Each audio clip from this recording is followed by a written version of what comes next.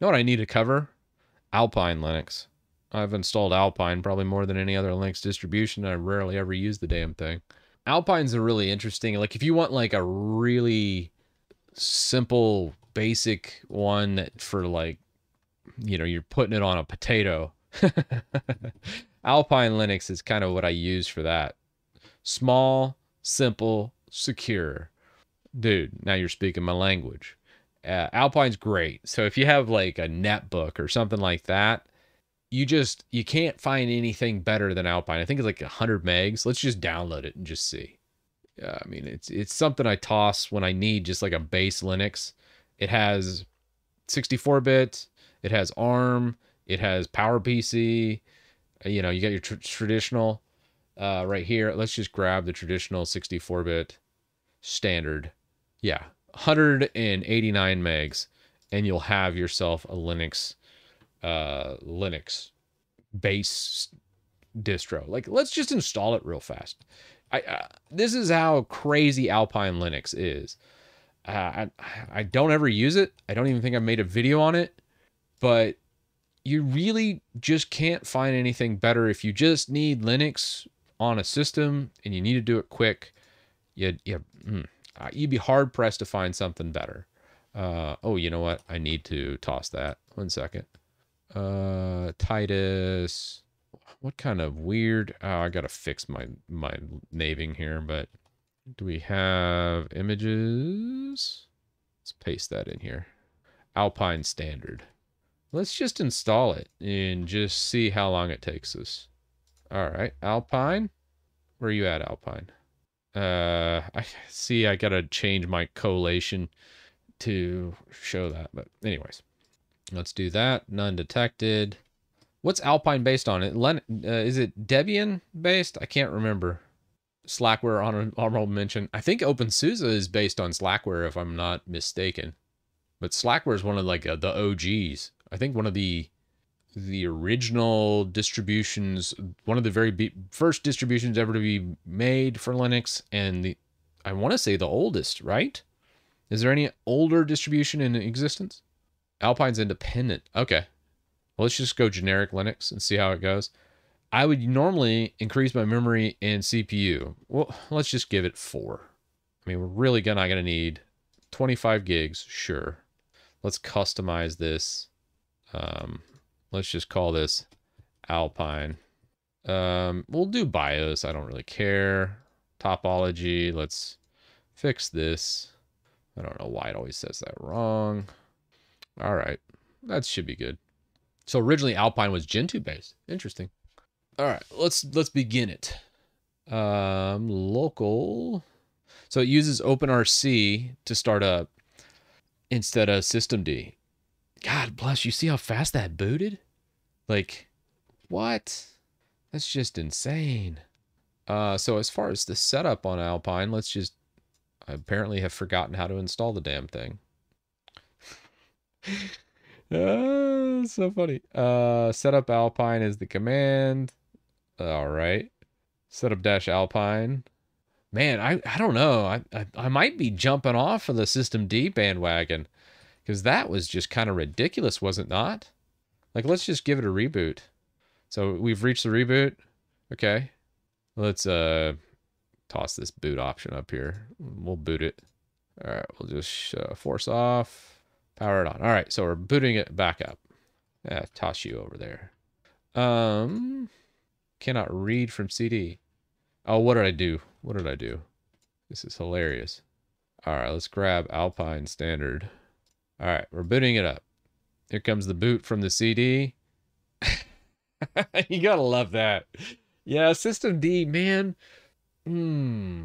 You know, everyone always jokes about Linux from scratch, but look at Alpine. That boot time, you just there's just no denying it. My goodness. That really, really makes my brain go, I like it. Yeah, that's true. The boats time's kind of crazy. I, I actually looked at doing well, I actually did it on a live stream that one time where we tried to flash the firmware. Oh, that was funny overwrite like Intel ME and, and flash our, our firmware chip on the board of a laptop I had to do Libreboot. That was that was fun. Yeah, Now I, I that's that's so cool. I like it. Um, all right. Uh, yeah. Let's just guess. Setup Alpine. All right. Keyboard layout US.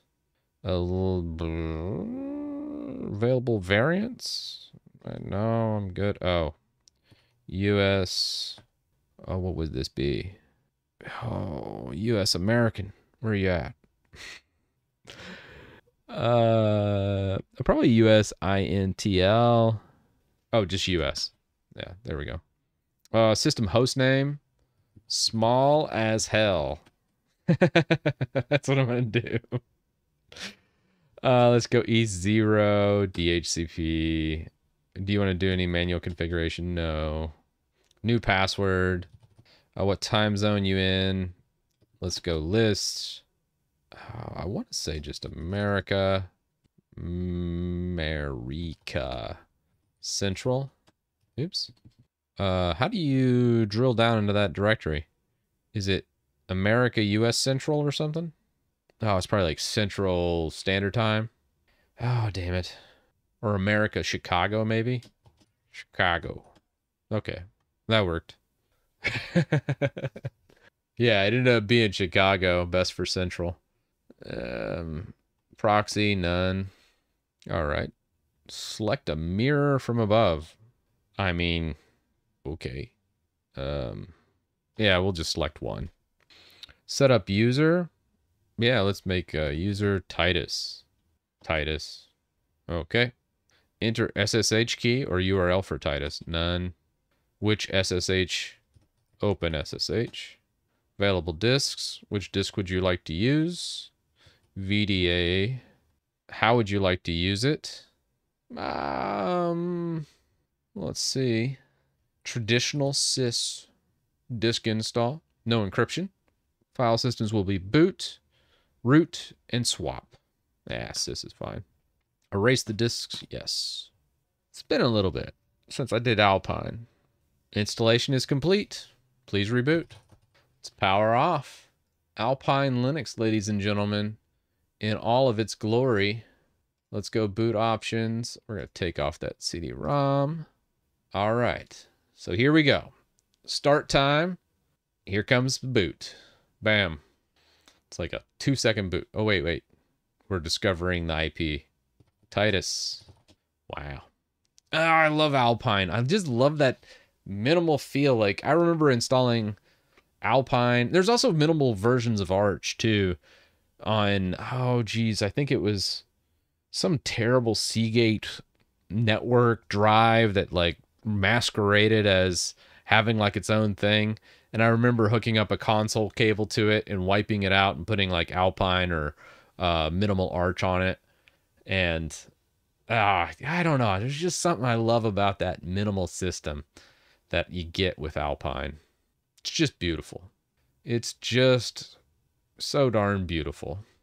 Yeah, Clear Linux, I heard, actually is getting dis- discontinued. So the old Intel counterpart to Clear Linux, they threw their hat in the ring and they're like, ah, never mind, we're out. And you know, I liked Clear Linux for its ideas.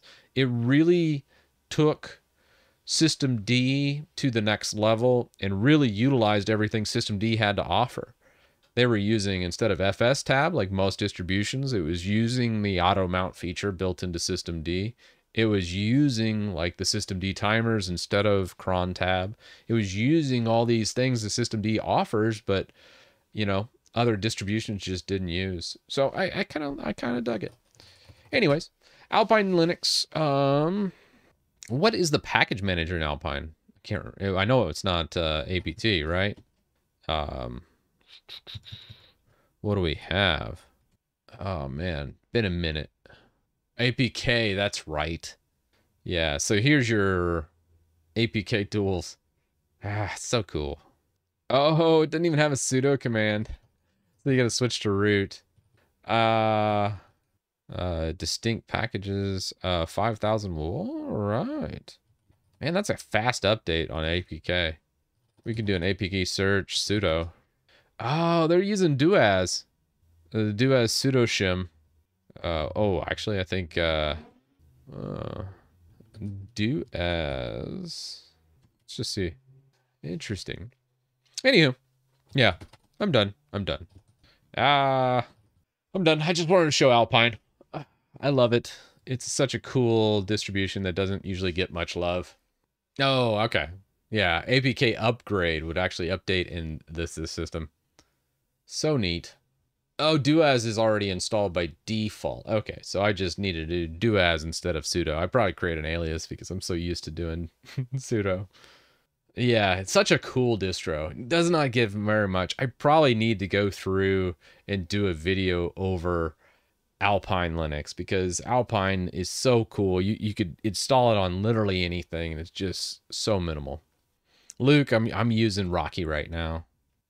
Yeah, and Alpine's used massively in corporate data centers. Yeah, I've seen it a lot out in the wild in, data centers, mainly just because it's such a minimal footprint. sudo is bloat. Just run everything as root. Yes, 100%. You could install it on a toaster for sure, Don. Like, no joke. Like, if that, that toaster has enough compute power to throw some digits up on a screen and a little bit of storage, you can do it. Like I said, I installed it on like a Seagate network drive. It's it's kind of insane. Like how how little it takes. Yeah. And the beauty of having such a small minimal thing, I know a lot of people are always like, why are you always trying to do something minimal or doing the, this way? The less crap you have on a system, the smaller attack surface you have. So if you only have a couple things, well, there's only a couple things people can attack you on. It, same principle applies to like my website, christitus.com. It's a static site. You want to hack me? Good luck. There's no attack surface. You can't hack an HTML file. You can't hack something that doesn't have a database. It's just that's the beauty of minimalism, especially on these things. So, um, that that's the gist of it. So cool.